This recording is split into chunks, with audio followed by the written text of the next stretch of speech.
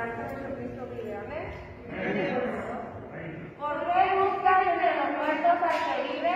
No está aquí,